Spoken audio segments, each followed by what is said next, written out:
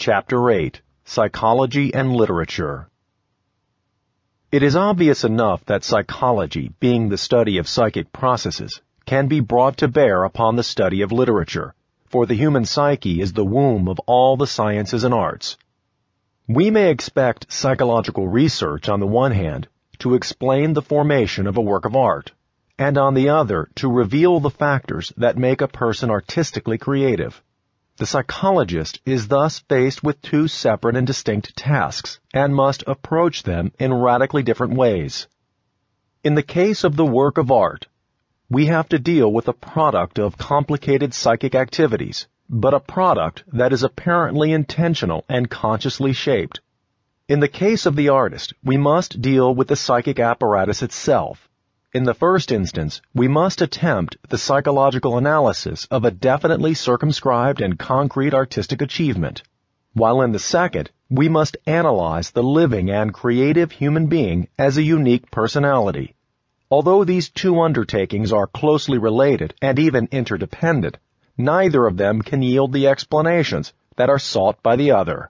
It is, of course, possible to draw inferences about the artist from the work of art and vice versa. But these inferences are never conclusive. At best, they are probable surmises or lucky guesses. A knowledge of Goethe's particular relation to his mother throws some light upon Faust's exclamation, The mothers, mothers, how very strange it sounds. But it does not enable us to see how the attachment to his mother could produce the Faust drama itself. However, unmistakably, we sense in the man Goethe a deep connection between the two. Nor are we more successful in reasoning in the reverse direction.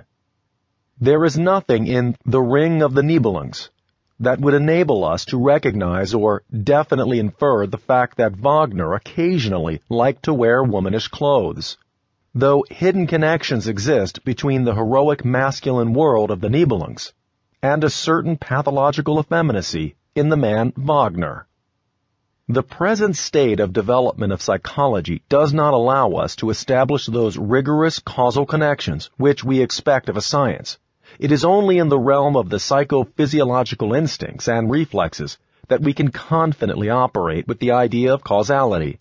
From the point where psychic life begins, that is, at a level of greater complexity, the psychologist must content himself with more or less widely ranging descriptions of happenings and with the vivid portrayal of the warp and weft of the mind in all its amazing intricacy. In doing this, he must refrain from designating any one psychic process taken by itself as necessary. Were this not the state of affairs, and could the psychologist be relied upon to uncover the causal connections within a work of art, and in the process of artistic creation, he would leave the study of art no ground to stand on, and would reduce it to a special branch of his own science. The psychologist, to be sure, may never abandon his claim to investigate and establish causal relations in complicated psychic events. To do so would be to deny psychology the right to exist.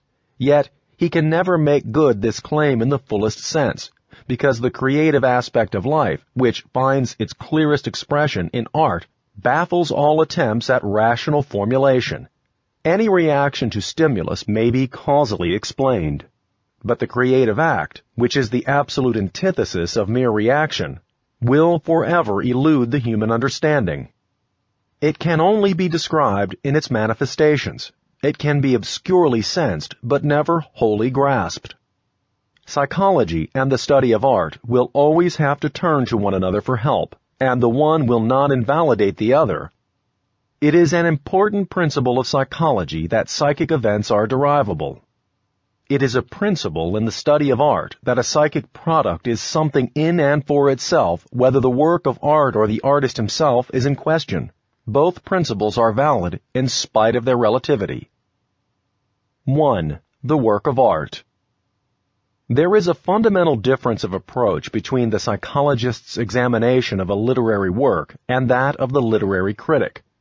What is of decisive importance and value for the latter may be quite irrelevant for the former. Literary products of highly dubious merit are often of the greatest interest to the psychologist For instance, the so-called psychological novel is by no means as rewarding for the psychologist as the literary-minded suppose. Considered as a whole, such a novel explains itself. It has done its own work of psychological interpretation, and the psychologist can at most criticize or enlarge upon this. The important question as to how a particular author came to write a particular novel is of course left unanswered.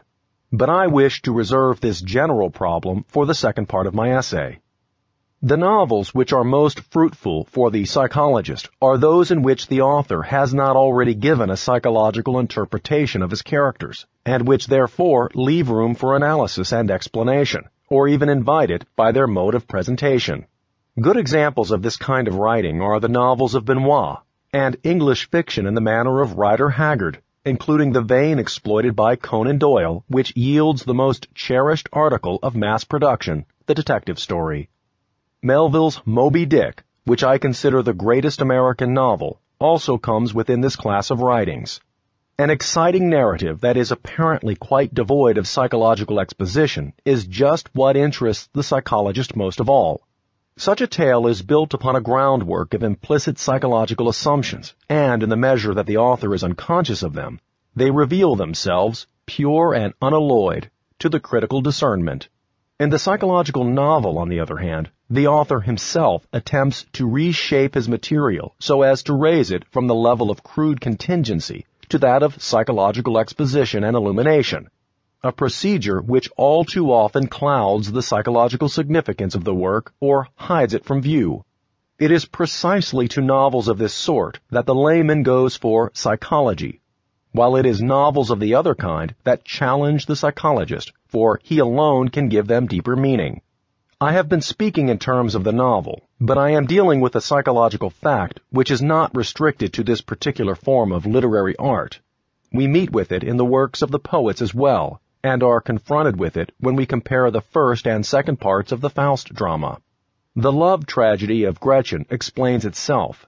There is nothing that the psychologist can add to it that the poet has not already said in better words. The second part, on the other hand, calls for explanation. The prodigious richness of the imaginative material has so overtaxed the poet's formative powers that nothing is self-explanatory and every verse adds to the reader's need of an interpretation. The two parts of Faust illustrate by way of extremes this psychological distinction between works of literature. In order to emphasize the distinction, I will call the one mode of artistic creation psychological and the other visionary. The psychological mode deals with materials drawn from the realm of human consciousness, for instance, with the lessons of life, with emotional shocks, the experience of passion, and the crises of human destiny in general, all of which go to make up the conscious life of man, and his feeling life in particular. This material is psychically assimilated by the poet, raised from the commonplace to the level of poetic experience, and given an expression which forces the reader to greater clarity and depth of human insight by bringing fully into his consciousness what he ordinarily evades and overlooks or senses only with a feeling of dull discomfort. The poet's work is an interpretation and illumination of the contents of consciousness, of the ineluctable experiences of human life with its eternally recurrent sorrow and joy. He leaves nothing over for the psychologist, unless, indeed, we expect the latter to expound the reasons for which Faust falls in love with Gretchen or which drive Gretchen to murder her child. Such themes go to make up the lot of humankind. They repeat themselves millions of times and are responsible for the monotony of the police court and of the penal code. No obscurity whatever surrounds them, for they fully explain themselves. Countless literary works belong to this class. The many novels dealing with love, the environment, the family, crime, and society, as well as didactic poetry, the larger number of lyrics, and the drama, both tragic and comic. Whatever its particular firm may be, the psychological work of art always takes its materials from the vast realm of conscious human experience, from the vivid foreground of life, we might say. I have called this mode of artistic creation psychological because in its activity it nowhere transcends the bounds of psychological intelligibility.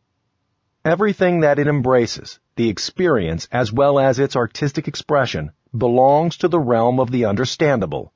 Even the basic experiences themselves, though non-rational, have nothing strange about them. On the contrary, they are that which has been known from the beginning of time, passion and its fated outcome, man's subjection to the turns of destiny, eternal nature with its beauty and its horror. The profound difference between the first and second parts of Faust marks the difference between the psychological and the visionary modes of artistic creation. The latter reverses all the conditions of the former. The experience that furnishes the material for artistic expression is no longer familiar. It is a strange something that derives its existence from the hinterland of man's mind. That suggests the abyss of time separating us from pre-human ages, or evokes a superhuman world of contrasting light and darkness. It is a primordial experience which surpasses man's understanding, and to which he is therefore in danger of succumbing. The value and the force of the experience are given by its enormity, it arises from timeless depths. It is foreign and cold, many-sided, demonic, and grotesque. A grimly ridiculous sample of the eternal chaos, the crime of high treason. To use Nietzsche's words, it bursts asunder our human standards of value and of aesthetic form. The disturbing vision of monstrous and meaningless happenings that in every way exceed the grasp of human feeling and comprehension makes quite other demands upon the powers of the artist than do the experiences of the foreground of life. These never rend the curtain that veils the cosmos. They never transcend the bounds of the humanly possible, and for this reason are readily shaped to the demands of art, no matter how great a shock to the individual they may be. But the primordial experiences rend from top to bottom the curtain upon which is painted the picture of an ordered world and allow a glimpse into the unfathomed abyss of what has not yet become. Is it a vision of other worlds, or of the obscuration of the spirit, or of the beginning of things before the age of man, or of the unborn generations of the future? We cannot say that it is any or none of these. Shaping, reshaping the eternal spirit's eternal pastime. We find such vision in The Shepherd of Hermas, in Dante, in the second part of Faust, in Nietzsche's Dionysian exuberance, in Wagner's Nibelungenring, in Spitteler's Olympic Spring, in the poetry of William Blake, in the Hypnerotomachia of the monk Francesco Colonna, and in Jacob Boehme's philosophic and poetic stammerings. In a more restricted and specific way, the primordial experience furnishes material for Rider Haggard in the fiction cycle that turns upon she. And it does the same for Benoit, chiefly in Atlantis, for Kubin in The Other Side, for Meyrink in The Green Face, a book whose importance we should not undervalue, for Goetz in The Kingdom Within, and for Barlach in The Dead Day. This list might be greatly extended. In dealing with the psychological mode of artistic creation, we never need ask ourselves what the material consists of or what it means. But this question forces itself upon us as soon as we come to the visionary mode of creation. We are astonished, taken aback, confused, put on our guard, or even disgusted, and we demand commentaries and explanations. We are reminded in nothing of everyday human life but rather of dreams, nighttime fears, and the dark recesses of the mind that we sometimes sense with misgiving. The reading public for the most part repudiates this kind of writing, unless indeed it is coarsely sensational, and even the literary critic feels embarrassed by it. It is true that Dante and Wagner have smoothed the approach to it. The visionary experience is cloaked, in Dante's case, by the introduction of historical facts and in that of Wagner by mythological events, so that history and mythology are sometimes taken to be the materials with which these poets worked. But with neither of them does the moving force and the deeper significance lie there. For both, it is contained in the visionary experience. Rider Haggard, pardonably enough, is generally held to be a mere inventor of fiction. Yet even with him, the story is primarily a means of giving expression to significant material. However much the tale may seem to overgrow the content, the latter outweighs the former in importance. The obscurity as to the sources of the material in visionary creation is very strange, and the exact opposite of what we find in the psychological mode of creation. We are even led to suspect that this obscurity is not unintentional. We are naturally inclined to suppose, and Freudian psychology encourages us to do so, that some highly personal experience underlies this grotesque darkness. We hope thus to explain these strange glimpses of chaos and to understand why it sometimes seems as though the poet had intentionally concealed his basic experience from us. It is only a step from this way of looking at the matter to the statement that we are here dealing with a pathological and neurotic art, a step which is justified insofar as the material of the visionary creator shows certain traits that we find in the fantasies of the insane. The converse also is true. We often discover in the mental output of psychotic persons a wealth of meaning that we should expect rather from the works of a genius. The psychologist who follows Freud will of course be inclined to take the writings in question as a problem in pathology, on the assumption that an intimate personal experience underlies what I call the primordial vision, an experience that is to say, which cannot be accepted by the conscious outlook, he will try to account for the curious images of the vision by calling them cover figures, and by supposing that they represent an attempted concealment of the basic experience. This, according to his view, might be an experience in love which is morally or aesthetically incompatible with the personality as a whole, or at least with certain fictions of the conscious mind. In order that the poet, through his ego, might repress this experience and make it unrecognizable, unconscious, the whole arsenal of a pathological fantasy was brought into action. Moreover, this attempt to replace reality by fiction, being unsatisfactory, must be repeated in a long series of creative embodiments. This would explain the proliferation of imaginative forms, all monstrous, demonic, grotesque, and perverse. On the one hand, they are substitutes for the unacceptable experience, and on the other, they help to conceal it. Although a discussion of the poet's personality and psychic disposition belongs strictly to the second part of my essay, I cannot avoid taking up in the present connection this Freudian view of the visionary work of art. For one thing, it has aroused considerable attention, and then it is the only well-known attempt that has been made to give a scientific explanation of the sources of the visionary material, or to formulate a theory of the psychic processes that underlie this curious mode of artistic creation. I assume that my own view of the question is not well known or generally understood. With this preliminary remark, I will now try to present it briefly. If we insist on deriving the vision from a personal experience, we must treat the former as something secondary, as a mere substitute for reality. The result is that we strip the vision of its primordial quality and take it as nothing but a symptom. The pregnant chaos then shrinks to the proportions of a psychic disturbance. With this account of the matter, we feel reassured and turn again to our picture of a well-ordered cosmos. Since we are practical and reasonable, we do not expect the cosmos to be perfect. We accept these unavoidable imperfections, which we call abnormalities and diseases, and we take it for granted that human nature is not exempt from them. The frightening revelation of abysses that defy the human understanding is dismissed as illusion, and the poet is regarded as a victim and perpetrator of deception.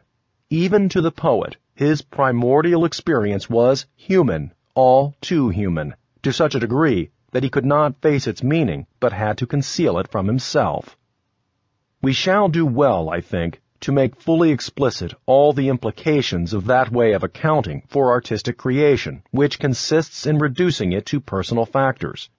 We should see clearly where it leads. The truth is that it takes us away from the psychological study of the work of art and confronts us with the psychic disposition of the poet himself. That the latter presents an important problem is not to be denied, but the work of art is something in its own right, and may not be conjured away. The question of the significance to the poet of his own creative work, of his regarding it as a trifle, as a screen, as a source of suffering, or as an achievement, does not concern us at the moment, our task being to interpret the work of art psychologically. For this undertaking, it is essential that we give serious consideration to the basic experience that underlies it, namely, to the vision. We must take it at least as seriously as we do the experiences that underlie the psychological mode of artistic creation, and no one doubts that they are both real and serious. It looks indeed as if the visionary experience were something quite apart from the ordinary lot of man, and for this reason we have difficulty in believing that it is real. It has about it an unfortunate suggestion of obscure metaphysics and of occultism, so that we feel called upon to intervene in the name of a well-intentioned reasonableness. Our conclusion is that it would be better not to take such things too seriously, lest the world revert again to a benighted superstition. We may, of course, have a predilection for the occult, but ordinarily we dismiss the visionary experience as the outcome of a rich fantasy or of a poetic mood, that is to say, as a kind of poetic license psychologically understood. Certain of the poets encourage this interpretation in order to put a wholesome distance between themselves and their work. Spitteler, for example, stoutly maintained that it was one and the same, whether the poet sang of an Olympian spring or to the theme, May is here. The truth is that poets are human beings, and that what a poet has to say about his work is often far from being the most illuminating word on the subject. What is required of us, then, is nothing less than to defend the importance of the visionary experience against the poet himself. It cannot be denied that we catch the reverberations of an initial love experience in The Shepherd of Hermas, in the Divine Comedy, and in the Faust drama an experience which is completed and fulfilled by the vision. There is no ground for the assumption that the second part of Faust repudiates or conceals the normal human experience of the first part, nor are we justified in supposing that Goethe was normal at the time when he wrote Part 1, but in an erotic state of mind when he composed Part 2. Hermas, Dante, and Goethe can be taken as three steps in a sequence covering nearly 2,000 years of human development. And in each of them, we find the personal love episode not only connected with the weightier visionary experience, but frankly subordinated to it. On the strength of this evidence, which is furnished by the work of art itself, and which throws out of court the question of the poet's particular psychic disposition, we must admit that the vision represents a deeper and more impressive experience than human passion. In works of art of this nature, and we must never confuse them with the artist as a person, we cannot doubt that the vision is a genuine primordial experience, regardless of what reason-mongers may say. The vision is not something derived or secondary, and it is not a symptom of something else. It is true symbolic expression, that is, the expression of something existent in its own right but imperfectly known. The love episode is a real experience really suffered, and the same statement applies to the vision. We need not try to determine whether the content of the vision is of a physical, psychic, or metaphysical nature. In itself, it has psychic reality, and this is no less real than physical reality. Human passion falls within the sphere of conscious experience, while the subject of the vision lies beyond it. Through our feelings, we experience the known, but our intuitions point to things that are unknown and hidden, that by their very nature are secret. If ever they became conscious, they are intentionally kept back and concealed, for which reason they have been regarded from earliest times as mysterious, uncanny, and deceptive. They are hidden from the scrutiny of man, and he also hides himself from them out of deisidaemonia. He protects himself with the shield of science and the armor of reason. His enlightenment is born of fear. In the daytime, he believes in an ordered cosmos, and he tries to maintain this faith against the fear of chaos that besets him by night. What if there were some living force whose sphere of action lies beyond our world of every day? Are there human needs that are dangerous and unavoidable? Is there something more purposeful than electrons? do we delude ourselves in thinking that we possess and command our own souls? And is that which science calls the psyche not merely a question mark arbitrarily confined within the skull, but rather a door that opens upon the human world from a world beyond, now and again allowing strange and unseizable potencies to act upon man and to remove him, as if upon the wings of the night, from the level of common humanity to that of a more than personal vocation? When we consider the visionary mode of artistic creation, it even seems as if the love episode had served as a mere release, as if the personal experience were nothing but the prelude to the all-important divine comedy. It is not alone the creator of this kind of art who is in touch with the night side of life, but the seers, prophets, leaders, and enlighteners also. However dark this nocturnal world may be, it is not wholly unfamiliar. Man has known of it from time immemorial, here, there, and everywhere. For primitive man today, it is an unquestionable part of his picture of the cosmos. It is only we who have repudiated it because of our fear of superstition and metaphysics, and because we strive to construct a conscious world that is safe and manageable in that natural law holds in it the place of statute law in a commonwealth. Yet, even in our midst, the poet now and then catches sight of the figures that people the night world, the spirits, demons, and gods. He knows that a purposiveness, outreaching human ends, is the life-giving secret for man. He has a presentiment of incomprehensible happenings in the pleroma. In short, he sees something of that psychic world that strikes terror into the savage and the barbarian. From the very first beginnings of human society onward, man's efforts to give his vague intimations a binding form have left their traces. Even in the Rhodesian cliff drawings of the Old Stone Age, there appears, side by side with the most amazingly lifelike representations of animals, an abstract pattern, a double cross contained in a circle. This design has turned up in every cultural region, more or less, and we find it today not only in Christian churches, but in Tibetan monasteries as well. It is the so-called sun wheel. And as it dates from a time when no one had thought of wheels as a mechanical device, it cannot have had its source in any experience of the external world. It is rather a symbol that stands for a psychic happening. It covers an experience of the inner world, and is no doubt as lifelike a representation as the famous rhinoceros with the tick birds on its back. There has never been a primitive culture that did not possess a system of secret teaching, and in many cultures this system is highly developed. The men's councils and the totem clans preserve this teaching about hidden things that lie apart from man's daytime existence. Things which, from primeval times, have always constituted his most vital experiences. Knowledge about them is handed on to younger men in the rites of initiation. The mysteries of the Greco-Roman world performed the same office, and the rich mythology of antiquity is a relic of such experiences in the earliest stages of human development. It is therefore to be expected of the poet that he will resort to mythology in order to give his experience its most fitting expression. It would be a serious mistake to suppose that he works with materials received at second hand. The primordial experience is the source of his creativeness. It cannot be fathomed, and therefore requires mythological imagery to give it form. In itself, it offers no words or images, for it is a vision seen as in a glass darkly. It is merely a deep presentiment that strives to find expression. It is like a whirlwind that seizes everything within reach and, by carrying it aloft, assumes a visible shape.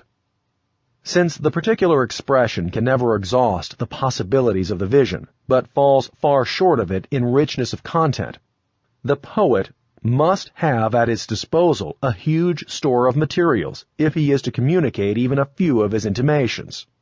What is more, he must resort to an imagery that is difficult to handle and full of contradictions in order to express the weird paradoxality of his vision. Dante's presentiments are clothed in images that run the gamut of heaven and hell. Goethe must bring in the Blocksberg and the infernal regions of Greek antiquity. Wagner needs the whole body of Nordic myth. Nietzsche returns to the hieratic style and recreates the legendary seer of prehistoric times. Blake invents for himself indescribable figures, and Spitteler borrows old names for new creatures of the imagination. And no intermediate step is missing in the whole range, from the ineffably sublime to the perversely grotesque. Psychology can do nothing towards the elucidation of this colorful imagery except bring together materials for comparison and offer a terminology for its discussion. According to this terminology, that which appears in the vision is the collective unconscious. We mean by collective unconscious a certain psychic disposition shaped by the forces of heredity. From it, consciousness has developed. In the physical structure of the body, we find traces of earlier stages of evolution, and we may expect the human psyche also to conform in its makeup to the law of phylogeny. It is a fact that in eclipses of consciousness, in dreams, narcotic states, and cases of insanity, there come to the surface psychic products or contents that show all the traits of primitive levels of psychic development. The images themselves are sometimes of such a primitive character that we might suppose them derived from ancient esoteric teaching. Mythological themes clothed in modern dress also frequently appear. What is of particular importance for the study of literature in these manifestations of the collective unconscious is that they are compensatory to the conscious attitude. This is to say that they can bring a one-sided, abnormal, or dangerous state of consciousness into equilibrium in an apparently purposive way. In dreams, we can see this process very clearly in its positive aspect. In cases of insanity, the compensatory process is often perfectly obvious, but takes a negative form. There are persons, for instance, who have anxiously shut themselves off from all the world only to discover one day that their most intimate secrets are known and talked about by everyone. If we consider Goethe's Faust and leave aside the possibility that it is compensatory to his own conscious attitude, the question that we must answer is this. In what relation does it stand to the conscious outlook of his time? Great poetry draws its strength from the life of mankind, and we completely miss its meaning if we try to derive it from personal factors.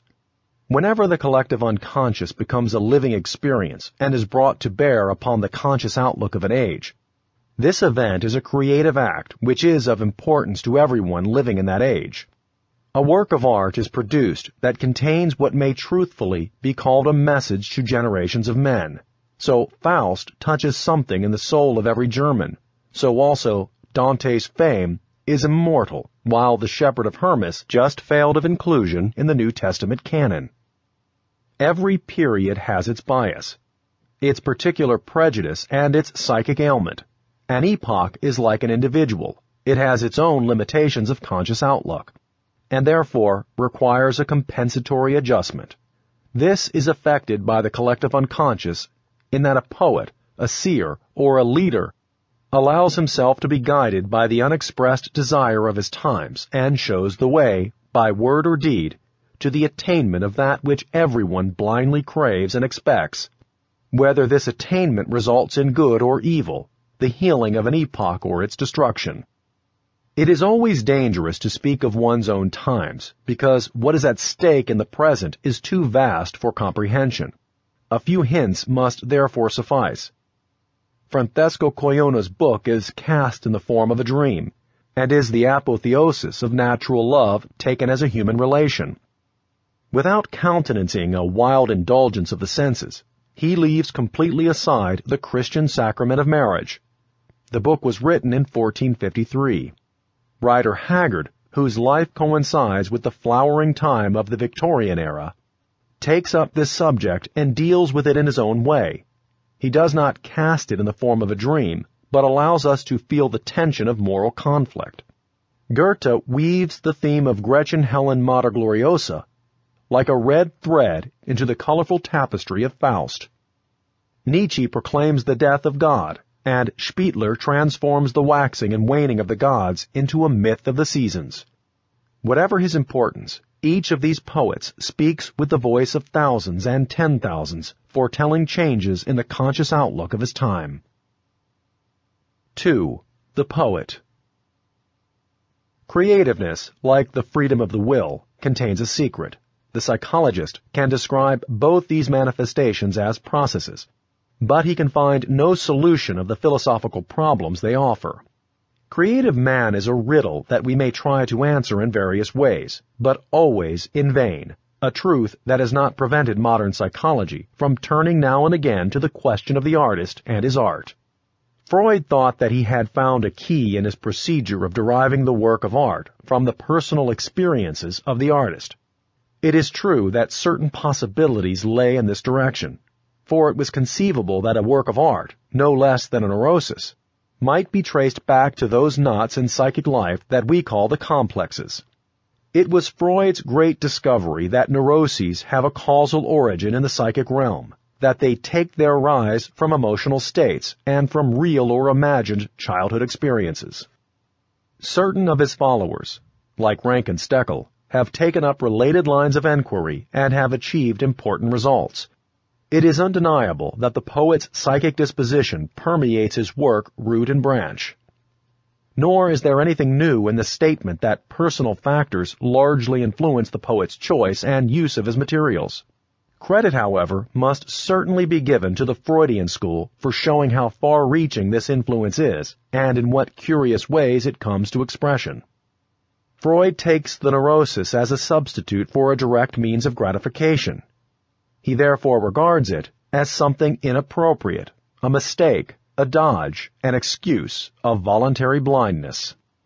To him, it is essentially a shortcoming that should never have been, since a neurosis, to all appearances, is nothing but a disturbance that is all the more irritating because it is without sense or meaning, few people will venture to say a good word for it.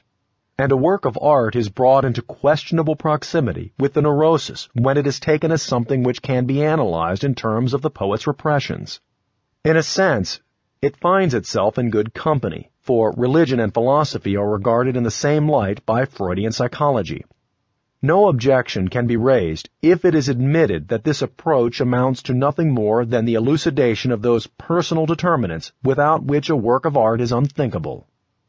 But should the claim be made that such an analysis accounts for the work of art itself, then a categorical denial is called for. The personal idiosyncrasies that creep into a work of art are not essential. In fact, the more we have to cope with these peculiarities, the less it is a question of art. What is essential in a work of art is that it should rise far above the realm of personal life and speak from the spirit and heart of the poet as man to the spirit and heart of mankind. The personal aspect is a limitation and even a sin in the realm of art. When a form of art is primarily personal, it deserves to be treated as if it were a neurosis. There may be some validity in the idea held by the Freudian school that artists without exception are narcissistic by which is meant that they are undeveloped persons with infantile and autoerotic traits. The statement is only valid, however, for the artist as a person, and has nothing to do with the man as an artist. In his capacity of artist, he is neither autoerotic nor heteroerotic nor erotic in any sense. He is objective and impersonal, even inhuman, for as an artist, he is his work and not a human being. Every creative person is a duality or a synthesis of contradictory aptitudes. On the one side, he is a human being with a personal life, while on the other side, he is an impersonal, creative process. Since as a human being he may be sound or morbid, we must look at his psychic makeup to find the determinants of his personality. But we can only understand him in his capacity of artist by looking at his creative achievement. We should make a sad mistake if we try to explain the mode of life of an English gentleman, a Prussian officer, or a cardinal in terms of personal factors.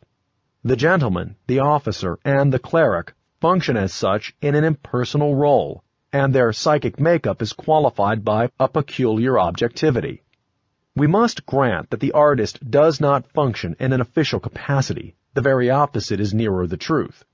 He nevertheless resembles the types I have named in one respect, for the specifically artistic disposition involves an overweight of collective psychic life as against the personal. Art is a kind of innate drive that seizes a human being and makes him its instrument. The artist is not a person endowed with free will who seeks his own ends, but one who allows art to realize its purposes through him. As a human being, he may have moods and a will and personal aims, but as an artist, he is man in a higher sense. He is collective man. One who carries and shapes the unconscious psychic life of mankind. To perform this difficult office, it is sometimes necessary for him to sacrifice happiness and everything that makes life worth living for the ordinary human being. All this being so, it is not strange that the artist is an especially interesting case for the psychologist who uses an analytical method. The artist's life cannot be otherwise than full of conflicts, for two forces are at war within him. On the one hand, the common human longing for happiness, satisfaction, and security in life, and on the other, a ruthless passion for creation which may go so far as to override every personal desire. The lives of artists are as a rule so highly unsatisfactory, not to say tragic, because of their inferiority on the human and personal side, and not because of a sinister dispensation. There are hardly any exceptions to the rule that a person must pay dearly for the divine gift of the creative fire. It is as though each of us were endowed, at birth, with a certain capital of energy. The strongest force in our makeup will seize and all but monopolize this energy, leaving so little over that nothing of value can come of it. In this way, the creative force can drain the human impulses to such a degree that the personal ego must develop all sorts of bad qualities, ruthlessness, selfishness, and vanity, so-called autoerotism, and every kind of vice in order to maintain the spark of life and to keep itself from being wholly bereft. The autoerotism of artists resembles that of illegitimate or neglected children, who from their tenderest years must protect themselves from the destructive influence of people who have no love to give them, who develop bad qualities for that very purpose, and later maintain an invincible egocentrism by remaining all their lives infantile and helpless or by actively offending against the moral code or the law. How can we doubt that it is his art that explains the artist, and not the insufficiencies and conflicts of his personal life? These are nothing but the regrettable results of the fact that he is an artist, that is to say, a man who from his very birth has been called to a greater task than the ordinary mortal. A special ability means a heavy expenditure of energy in a particular direction, with a consequent drain from some other side of life. It makes no difference whether the poet knows that his work is begotten, grows and matures with him, or whether he supposes that by taking thought he produces it out of the void. His opinion of the matter does not change the fact that his own work outgrows him as a child its mother.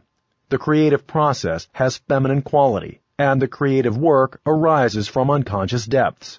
We might say, from the realm of the mothers. Whenever the creative force predominates, human life is ruled and molded by the unconscious as against the active will, and the conscious ego is swept along on a subterranean current being nothing more than a helpless observer of events. The work in process becomes the poet's fate and determines his psychic development. It is not Goethe who creates Faust, but Faust which creates Goethe. And what is Faust but a symbol? By this I do not mean an allegory that points to something all too familiar, but an expression that stands for something not clearly known and yet profoundly alive. Here it is something that lives in the soul of every German, and that Goethe has helped to bring to birth. Could we conceive of anyone but a German writing Faust, or Thus Spoke Zarathustra? Both play upon something that reverberates in the German soul, a primordial image, as Jacob Burckhardt once called it, the figure of the physician or teacher of mankind. The archetypal image of the wise man, the savior or redeemer, lies buried and dormant in man's unconscious since the dawn of culture. It is awakened whenever the times are out of joint and a human society is committed to a serious error. When people go astray, they feel the need of a guide or teacher or even of the physician. These primordial images are numerous, but do not appear in the dreams of individuals or in works of art until they are called into being by the waywardness of the general outlook. When conscious life is characterized by one-sidedness and by a false attitude, then they are activated, one might say, instinctively, and come to light in the dreams of individuals and the visions of artists and seers, thus restoring the psychic equilibrium of the epoch. In this way, the work of the poet comes to meet the spiritual need of the society in which he lives and for this reason, his work means more to him than his personal fate, whether he is aware of this or not. Being essentially the instrument for his work, he is subordinate to it, and we have no reason for expecting him to interpret it for us. He has done the best that in him lies in giving it form, and he must leave the interpretation to others and to the future. A great work of art is like a dream. For all its apparent obviousness, it does not explain itself and is never unequivocal. A dream never says, you ought, or this is the truth. It presents an image in much the same way as nature allows a plant to grow, and we must draw our own conclusions. If a person has a nightmare, it means either that he is too much given to fear, or else that he is too exempt from it. And if he dreams of the old wise man, it may mean that he is too pedagogical as also that he stands in need of a teacher. In a subtle way, both meanings come to the same thing, as we perceive when we are able to let the work of art act upon us as it acted upon the artist. To grasp its meaning, we must allow it to shape us as it once shaped him. Then we understand the nature of his experience we see that he has drawn upon the healing and redeeming forces of the collective psyche that underlies consciousness, with its isolation and its painful errors.